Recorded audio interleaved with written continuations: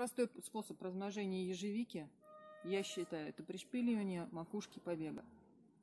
А, поверьте мне, ежевики все равно, какой длины у нее будут побеги. Слишком длинные побеги тоже нехорошо. Этот побег будет на следующий год плодоносить. Поэтому я совершенно спокойно буду его укоренять. У меня есть горшочек, в нем уже земля с биогумусом.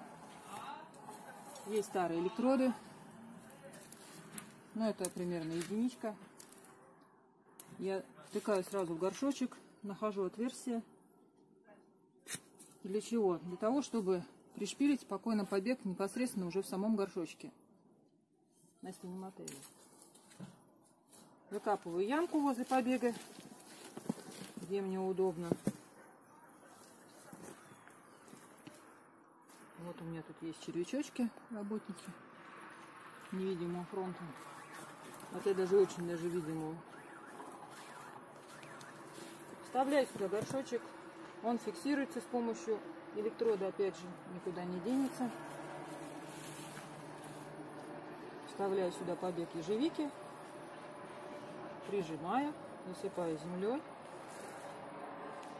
И все. Остается поливать и ухаживать, как обычно. Почему горшочек? Потому что потом удобно взять и секатором отсечь побег.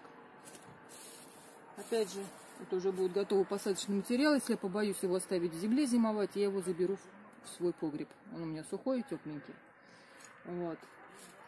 Э, для того, чтобы не пересыхала почва в горшочке, он у меня непосредственно вкопан. Вот и все. Через пару месяцев у меня будет укорененный хороший побег ежевики. Я его секатором отделю.